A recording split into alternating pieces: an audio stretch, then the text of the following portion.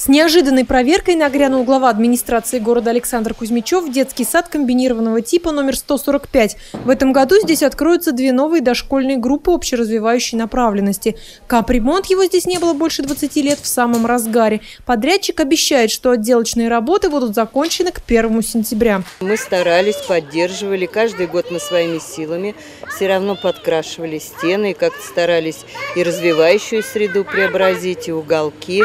Но ремонт был ожидаем, мы его, конечно, ждали. Ждали и утепления стен, и чисто косметического преобразования.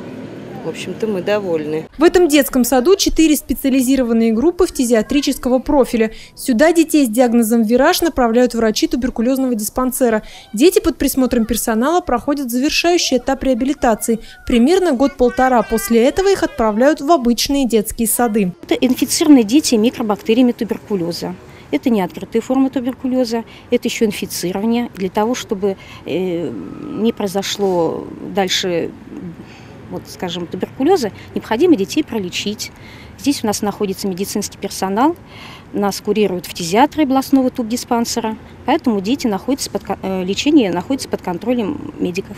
Заведующая дошкольного учреждения проводит беседы с родителями детей из новых групп. Объясняет, что заболевание не заразно и никакой опасности малыши не представляют. Александр Кузьмичев остался доволен ходом работы и отметил две дополнительные графы для финансирования. Здесь мы комплексно подходим. Вот к этому детскому садику будет э, сделана новая дорога, подъездные пути и приведена благоустроенная э, территория, прилегающая к детскому садику. В этом году 20 тысяч детей в городе будут посещать детские дошкольные учреждения. Буквально 6 лет назад в садике ходили только 14 тысяч малышей. Городские власти обещают ликвидировать очереди в сады до 2016 года. Мария Смирнова, Андрей Семиволков, РТВ Иванова.